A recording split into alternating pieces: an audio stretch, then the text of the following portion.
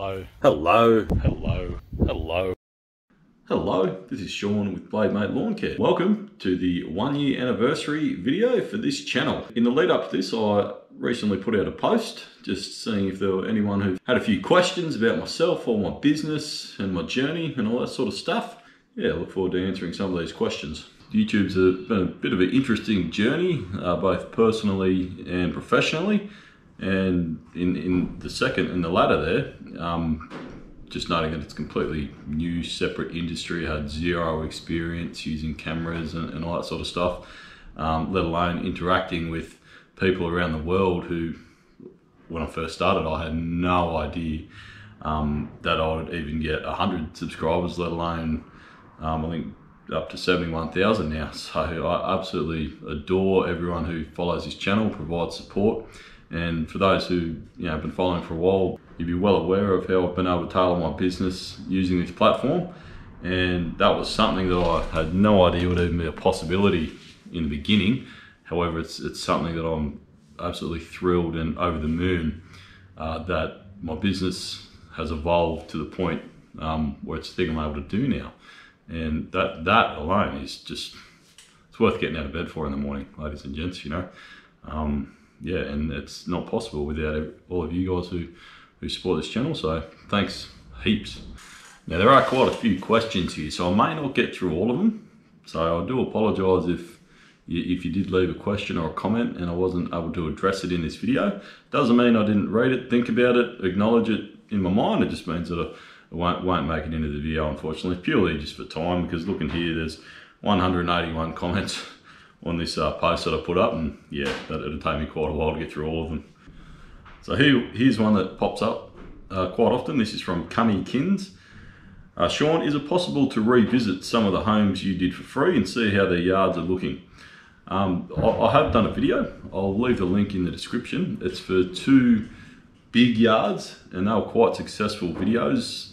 And as such, I continue to use the revenue that I earn from those videos to provide ongoing upkeep to those yards for free at no cost to them. Um, obviously, time is a big factor as well. I'm, I'm only one person. Well, I know I have my offside of will. Uh, however, yeah, time is the biggest factor as to why I can't go back and really do all of them for free regularly. Uh, you know, in a perfect world, that'd be great, but uh, I'm restricted by the resources I have. Now this one comes up all the time, so I'll address it to the first one I've seen here, which was asked by Krabby Pants. So there were no doubt a few more in this list that didn't make the video that asked a similar thing. Ever had a close encounter with a snake? And do you beat around the overgrown bushes first to scare off the critters before you mow? And what about spiders? Um, yes, had lots of encounters with critters. I haven't put any snakes in the video. Some people are a bit jittery, and truth be told, I don't think I've actually encountered a snake during one of the times I was filming. Um, they're not as off, they're not as common as you'd think to, to come across. I've probably come across maybe well half a dozen during a mowing season, and you know mowing season's like six months, so yeah, what's that like one a month? It's not a big strike rate when it comes to encountering dangerous snakes. I do come across a lot of spiders and a lot of lizards. Um, I think with the snakes though, I don't beat around to scare them off. I'm, always, I'm usually a little bit apprehensive when I'm doing my first walk around, just noting that they haven't been disturbed by my equipment and all that stuff yet. Uh, so yeah, that, that's a, I'm always a little bit on edge walking through that long grass initially. However, once I get started with my equipment, the, the sound and the vibrations, they just go the other way. So I don't know where they go. in the next door neighbour's yard. This one's from Rhiannon Butler. Congrats on a fast and productive year. It has been great watching you transform yards, communities disadvantaged, and watches all with a trimmer. So thanks, Rhiannon. That's lovely. Um, only two questions I have. Does anyone get offended by you asking to tidy their yard? And are there enough bloopers for a video yet? Well, start with the bloopers one.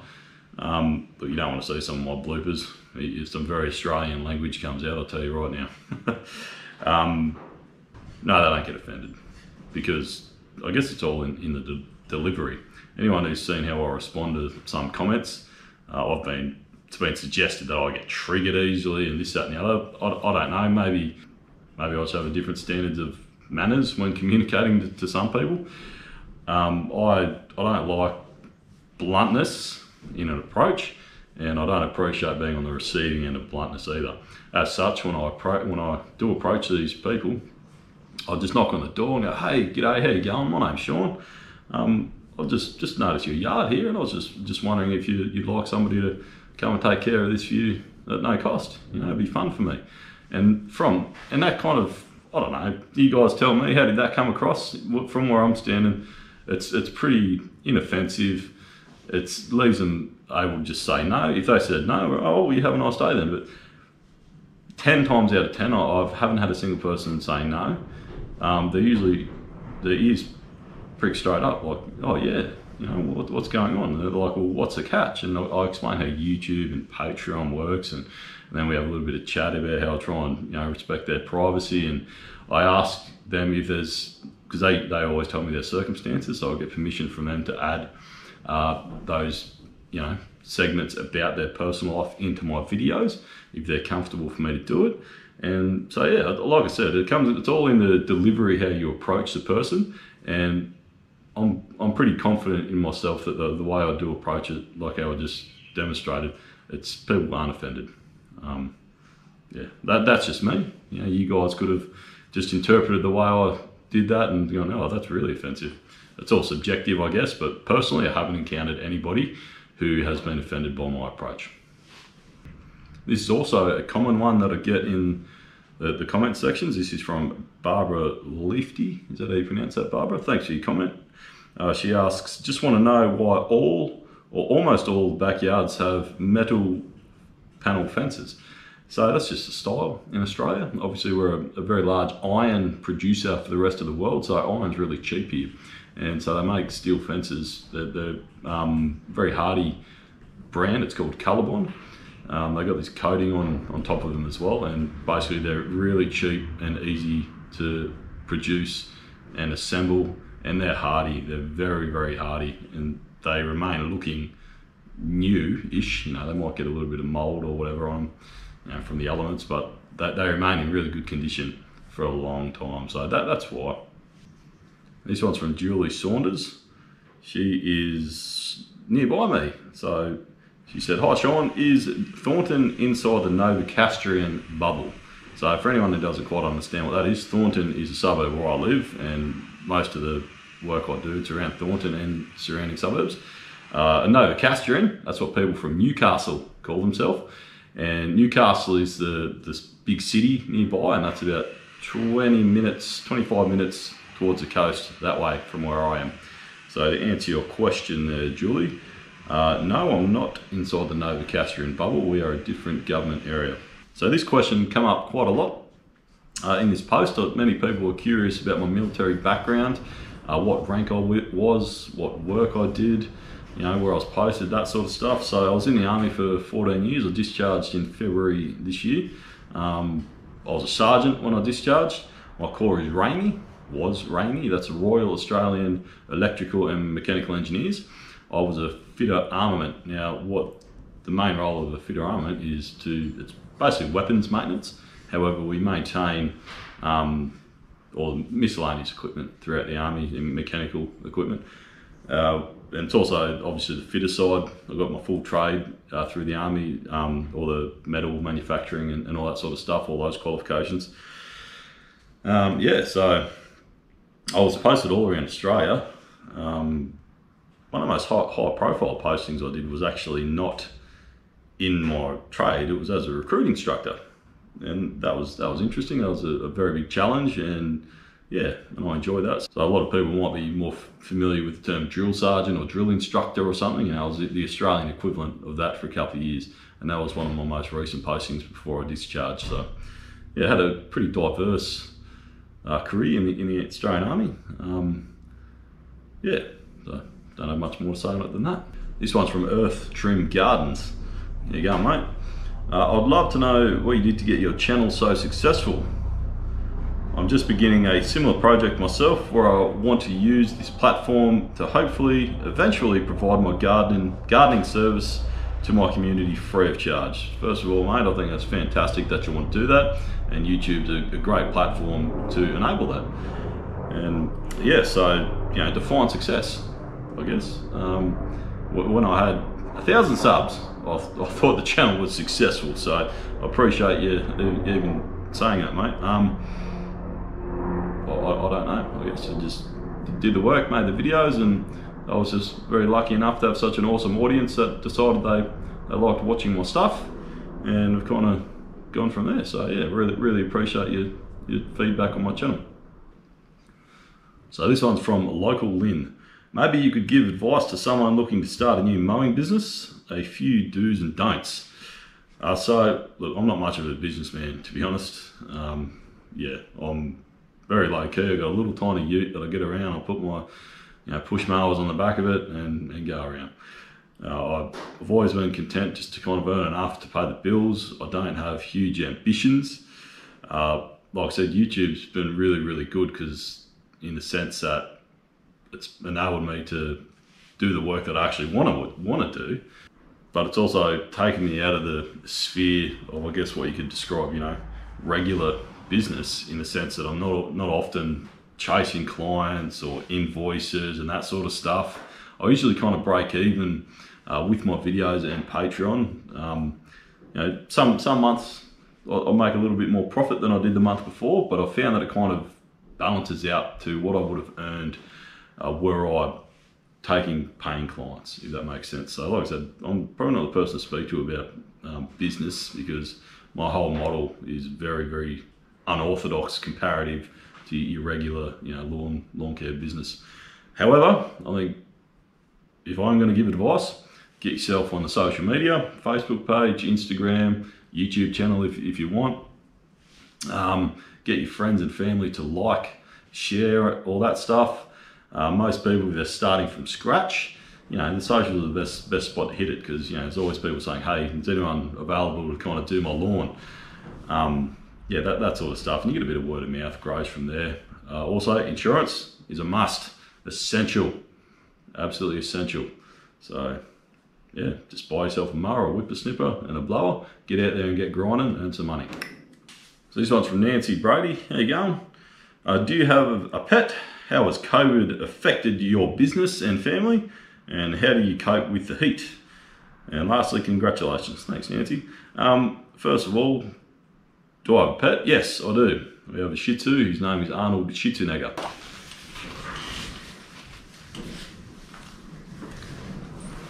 Here he is. Hey, buddy. Oh. He foughs, he goes. Hey. He's a bit cute. You're a bit cute, aren't you, buddy? Stop fluffing on me.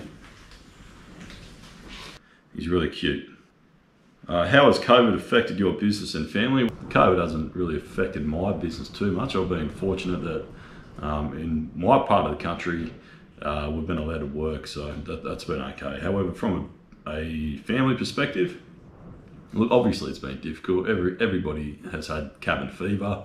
Uh, my wife's had to do the homeschooling, you know, via, via Zoom and all that sort of stuff. And, you know, that gets a little bit long in the tooth doing that day in, day out, especially when you're not a teacher. Um, you know, the, the technology these days for kids is a blessing and a curse. Everyone always talks about how kids are always on their devices and, and how it's bad and this, that, and the other. Well, frankly, we would have been lost without our devices for the kids.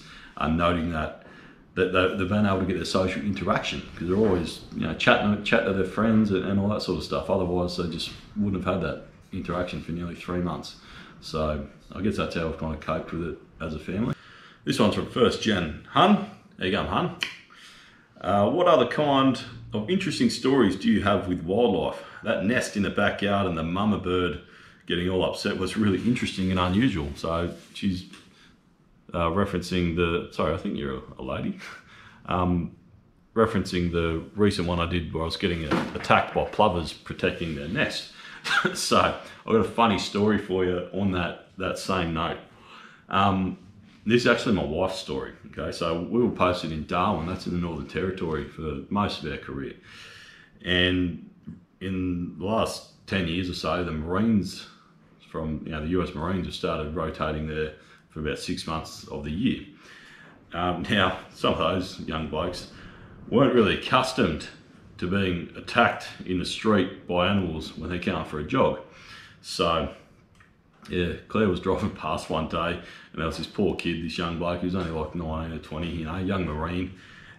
He was curled up in a ball with these two plovers, not unlike what you saw in that video I did recently, just dive bombing. And he didn't know what to do. He was just like, oh, you know, just having a bad time. it's a little bit funny. Anyway, so she kind of pulled up, put the window down and said, oi, come get in the car, mate. he, he ran over to the car and yeah, so she rescued him from a bunch of plovers. And I think that's probably one of the funniest stories that I got for you. This is from Tweedle Games Swenson. There you go, mate. Uh, do you ever get scared of spiders or bees on the job? Well, speaking about spiders, short answer is for the spiders, yes, absolutely. Uh, one video in particular, I've nearly grabbed a big redback nest. Um, the redback was about that big. If anyone doesn't know what a redback spider is, it's an Australian black widow. And yeah, very venomous, very venomous, not aggressive, but you know, they'll do some damage if they bite you. Um, the silly me, complacency, don't wear gloves as much as I should, you know.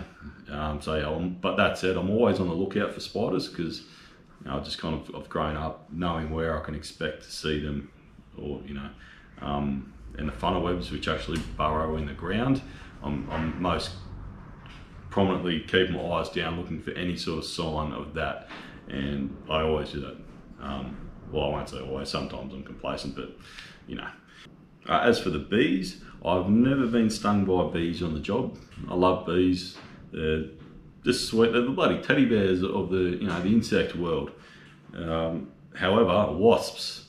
I get stung by wasps so often, so often. They're in. They're, they make their nests in like hedges or shrubs or anything. If I, you don't even need to disturb their nest. You just got to go near them, and they'll just come at you. And all of a sudden, I'll feel a sharp sting in somewhere, usually on my skin, my neck or something. And then I'm like, oh, and I'll grab it and you can feel it buzzing and it's like almost feels like a crunchy leaf and like this is just awful. And you kind of look up and you see them and they're everywhere and they chase you they don't they're, they're angry bloody things these wasps. They, they chase you you got to run away. So after that happens on a job I kind of make a mental note of where it is and I do my best to stay back from that area um, but I've got to get in there anyway so it just makes it a challenge we'll leave it at that this one's from Pretty Brown Eyes. How you going, Dale? Um, would love some footage or recording of the people whom you have helped and how they enjoy their lawns after the massive cleanup. Now, I do get asked this one quite often. People would like to see the reactions uh, from the, the people I do the work for. However, I look, honestly, I first and foremost, I didn't initially used to ask them for privacy reasons. Um, but after several requests, you know, similar to this one, I have in fact asked and only two people have asked actually, and, and they both said no.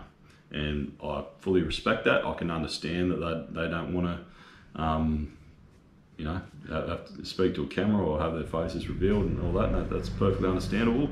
However, I also, um, I always ask for their permission to, to share their story, like I said. So they, they give me that without having to, you know, I can be their conduit, you know, provide their message on their behalf. And yeah, they don't have to show their face, so that's why I do it like that. So this one's from Right in the Friggin' Eye. I like that name, good one. Hi Sean, since the last video when you got a mulching blade for that weed eater because everyone was telling you to get one, well I have a question. What are your top three things you learned about lawn care when you, sorry, and where you just face palmed and thought, I can't believe I didn't find this out sooner. So, top three. Um, definitely one of the people in the comments section, um, that, and I've had a lot of feedback saying that people started doing it this way as a result of watching me do it, whereas, and I acknowledge I learned from someone in the comments, the way I hold my whippersnipper, where it's kind of vertical, and I, I, I hold the, you know, the, the, the, shaft of the whippersnipper a little bit further down. Yes, get your minds out of your gutter. I, I fully understand what I just said. Um, yeah, so that has it's changed the way I, I, do my edges. The the control it's given it gives you when you work that way, and the confidence it's given me to use the whippersnipper to edge pristine lawns um, was that that was one of the best pieces of advice I've ever had. Another one was if you watch back to my early videos when I first used side discharge mowers, a couple of my Victas, never used one before, ever, had no idea what I was doing. Um, and people were just becoming irate with me for the my technique. I was just going up and down and going over all the long clippings. It didn't register on my anywhere on my grid square um, that that was an issue. Just noting that my two strokes are pretty powerful and we're just smashing through it.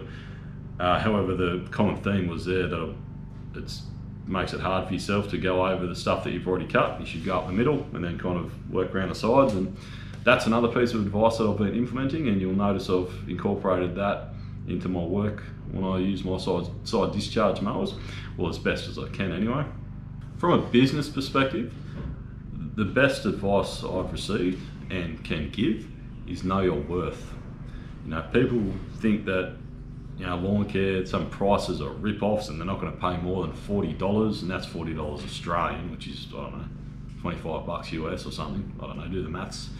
Um, yeah, pe- people don't fully understand the costs involved in running a lawn care business in Australia. Any any dollar you earn, like immediately take almost a third of that straight off for tax.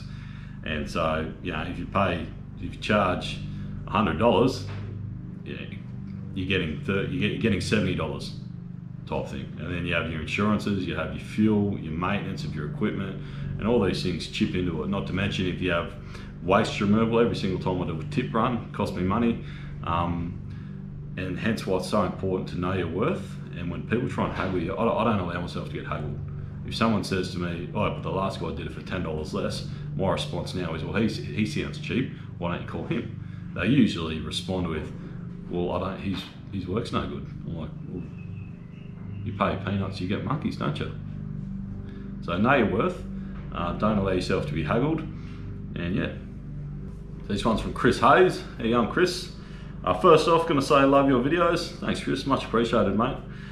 Uh, I'm curious as to why you seem to prefer two strokes over a four stroke. Uh, also, can you talk on the differences between the types of grass between here and the States and those of Australia? Between here and the States. So I don't quite understand how you've worded that, mate. You, I'm going to assume you're asking the differences between the grass in the US and in Australia. Uh, I'll get to that one in a sec. I'll start with the first question. Why do I prefer two strokes over four strokes? Quite simply, power to weight. You know, they, they don't bog. And if they, yeah, they don't stall. With four strokes, they just go through long stuff and just get stuck. It's obviously the piston going up and down in a two stroke, you know, twice as often, or the spark hitting it twice as often as that in a four stroke, it's quite simply more powerful and it bogs down less. And yeah, that's why I like them more. Well, as for the differences between grass in the US and here, I'll just let this excerpt from my pr previous video speak for itself. Have a look here. That's almost like a spider web. It's just this big, sticky, not sticky, but firm, dense uh, clump of, you know, thatchy, long stuff. Like you couldn't drag your foot through there. I watch a lot of American YouTube channels. Absolutely love the lawn care industry. Love watching the transformation. Don't care if it's in England, New Zealand. Um, I've, I've, bloody, I've watched one from Japan, uh, obviously the US, everywhere, Australia. Yeah, I, I really enjoy it. Um, and big difference between Australian, and particularly the US and the UK and the Northern Hemisphere. Your grass doesn't go brown underneath. Uh, in Australia, the varieties mainly Kikuyu and Couch, they're huge around here. They go very brown underneath um, and all the green goes to the top. Now the reason for that is it's, it's a drought resistant quality, whereas the plant saves energy and water by only having the more healthy green parts and chlorophyll at the top and everything underneath just kind of gets shut down and it's really just there as a mechanism to connect the green part to the roots. Uh, whereas I've noticed in those other countries, it's green all the way down. You know, I'm so jealous of that. It's not dead, it's not thatchy. You're gonna run your finger through it, you know, like a nice bloody combed hair. That's that's what it looks like to me, and it looks like it would be so much easier to mow and so fun to mow. And um, some lawns I've, I've, done that are like that. You know, not all the varieties of Kikuyu and Couch, but for the really overgrown ones, that's for the most part that's what they are. So yeah, to answer that question, I'm pretty sure that's the biggest difference I've noticed. The fact that you don't have that big clump of thatch and you can just, it's just grass from top to bottom. Bill Bearden. to the folks who make these videos, it's probably very obvious, but for those who may not know, can you please explain the advantage of walking backwards as you do your edging? So, just you're gonna have to watch this next bit. When I go that way, um, the trimmer head's spinning that way, which means everything kind of gets thrown that way, which is behind me. If I were to go forward into that, the trimmer's still spinning anti-clockwise, but it'll kind of, I don't know, the forces of me going that way and the trimmer head going that way, it means that the debris doesn't get tossed away. Kind of just gets stuck in the edge there. I'll show you what I mean.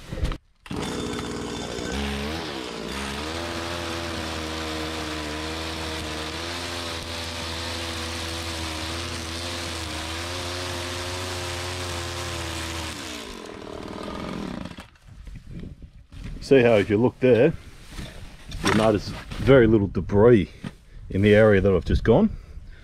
Now watch this.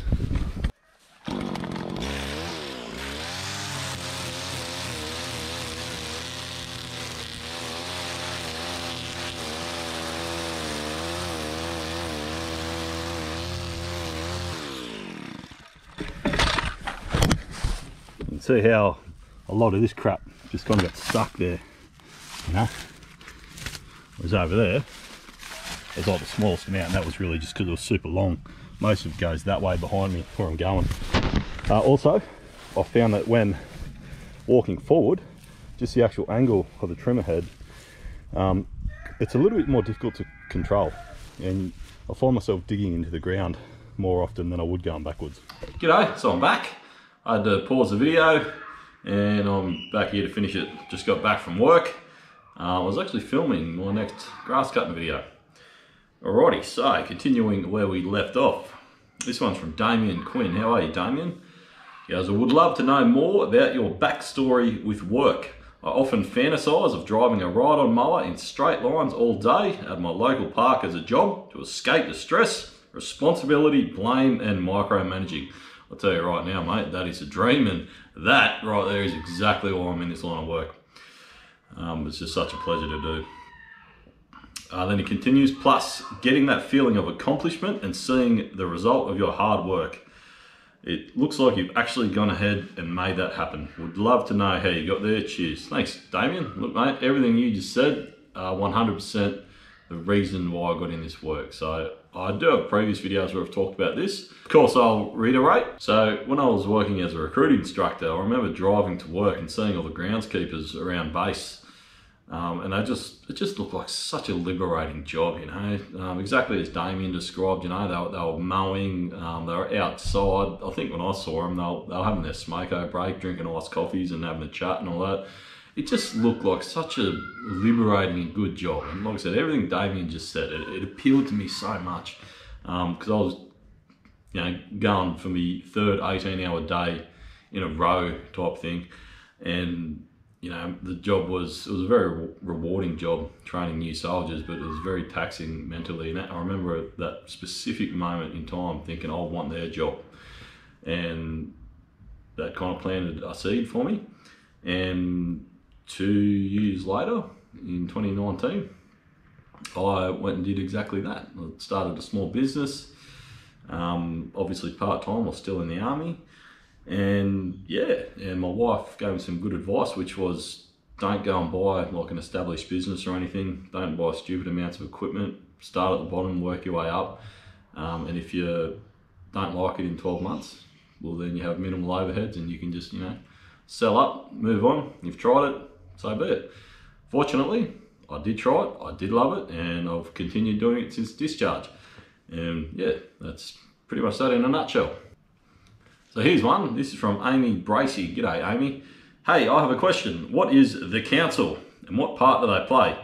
I'm in the US. Are the are the homes rentals or owned by them? All right. So my understanding of how the US operates, you have your counties, and you know the county has their own administration. They kind of oversee, you know, all the sanitation and and I don't know whatnot, you know, all that sort of stuff, infrastructure around around town. You know, they, they manage that local area. The council, that's our equivalent to the county. And yeah, Simple as that, really. So no, they don't own, own or rent the houses. They're just the local government. Now this one cracks me up a bit. So this is from damn old guy. You don't look old, mate. You don't look like, you don't look a bloody day over 40. Um, do Aussies really like Vegemite or is it just a joke to get other people to try it? uh, look, Australians are quite partial to a stitch up. I'm not going to tell you what we do like to stitch people up about because I, I, don't want to ruin the joke for other Aussies. Uh, however, Vegemite, no, absolutely, that, that is a staple. Love it. I, I, was raised on it. I still have it once or twice a week on my toast in the morning. A bit of butter um, melts into the Vegemite. You, you, know, it's one of those things. If you're raised with it, you like it. You know, it's not not everyone appreciates it at first when they have it. Um, people who haven't had it ever and try it as an adult for the first time will probably think, what is this salty crap that you put on your toast? Uh, but yeah, when you're raised with it, it's just something that you really like and it's really good for you. You know, it's full of vitamin B and yeah, puts a, puts a rose in every cheek. This one's from Clint Curtis. Excelsior. Word. So this is a good question. This is from Raymond Stevens. Um, yeah, I got one as a lawn care specialist myself. Uh, how do you make money during winter? Do you also do other jobs aside to lawn care? Or do you save as you go so you have it for the cold months? Um, so in wintertime, I, I, I'm able to continue mowing. It just means that my fortnightly, so no one knows what that means, it's every two weeks, um, they turn into once every month that I'll go and mow. So I'll still do my entire clientele. It just slows down during winter um, and that's when we focus on a lot more cleanup jobs and, and, people want their yards cleaned up and that sort of stuff. And because it, it, doesn't snow here in my particular region, we don't get huge frosts. It's very temperate, you know, it's kind of, um, yeah, it's above where, where it's too cold and it's below where it's too hot on, on the map. So yeah, I can still work, but yeah, obviously spring through summer is peak mowing season where, you know, we earn most of the money. This is from Stay in Your Lane. I would like to know if you feel the good you have been doing for people with your service, with your service is being paid back by good in your everyday life. Um, it seems by association with some some people, either I know personally or follow on YouTube, doing good deeds is returned to them. And I'm not saying anyone does good to get good, just curiosity as to if you have seen it personally. So if I interpret that correctly, the simple question is, do I feel good as a result? And do I get good things happen to me as a result of the work I do? Well, first and foremost, absolutely I feel good. That's the whole reason I do it. It's um, when I discharged, I kind of still had that bug where I wanted to serve. You know, when I was in the military, that's that's the job. You're, you're servant to your country. Um, I've always enjoyed that about the wearing the uniform, and I don't wear the uniform anymore. And I found myself kind of twiddling my thumbs, I guess, feeling like I could be doing a little bit more with my time. Um, and yeah, so I found myself doing a few freebies around town. Um, and then obviously the, the, YouTube channel happened. I did my first freebie then and I, I, got an overwhelmingly positive response when I did my first um, free series way back in January. Um, and yeah, obviously gone from there. And then after that, I, I become monetized. And so yeah, that, that means YouTube started paying me. And then I realised, hey, you know what, I can continue to do this on a larger scale because I can earn money from YouTube now. And yeah, so it's literally a dream come true that I can do this work for people, but on a larger scale, so I'm still getting paid, you know. Um, there's absolutely nothing else I would rather be doing. Um, you know, that, that are within my means. So yes, absolutely, I feel good doing it and I have no plans to stop. And yeah, and that's what it's all about, isn't it? And this one's a little bit funny, and truth be told, I've never really given it much thought. Uh, this from Brittany George. Uh, when you picture who you're talking to when you talk to the camera for this channel, what does the person slash people you're picturing look like? That's a that's an interesting question. Uh, I don't really have an answer for that one, to be honest. Um, I've, I've, obviously done a lot of public speaking in my time. I used to give um, lessons to you know groups of 60 plus people, and you know that, that was my job for many years. So I'm, I know it's almost like a similar type of headspace as that. I just picture a group of people, kind of not before me, but you know, I picture them on their phone doing this, but lots of faces, but with no particular face in mind. A little bit hard to explain that one, but yeah, interesting question. This one's from Tristan Dankert. Hope, hope I said that right, mate. Uh, hey Sean, it's going to be big, but could you, but could there be a compilation of all the free cleanup mows?